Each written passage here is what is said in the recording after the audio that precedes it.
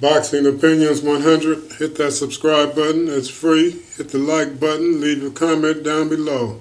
Stephen Cool Boy Fulton, 122 pound unified champion.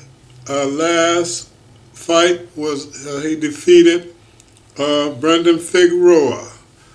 Uh, Stephen Fullboy Cool Boy Fulton was asked the question would he fight Figueroa again?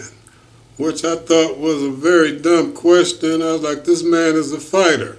These are one of these boxers that don't duck and hide, that don't run.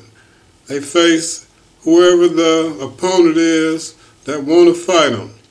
Uh, these two fighters, uh, Stephen Coolboy Fulton, Jaron Boots Ennis, they're such a class act to the sport. You don't hear them uh, calling out names. You never really see them uh, uh, losing their temper and uh, such, but you never hear nobody saying their name also at the same time.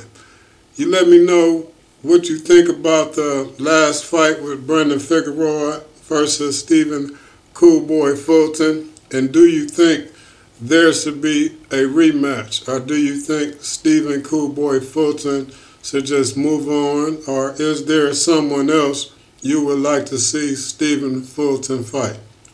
And this is Boxing Opinions 100. Uh, hit the like button, leave your comment down below, hit that subscribe button. Thank you very much for watching.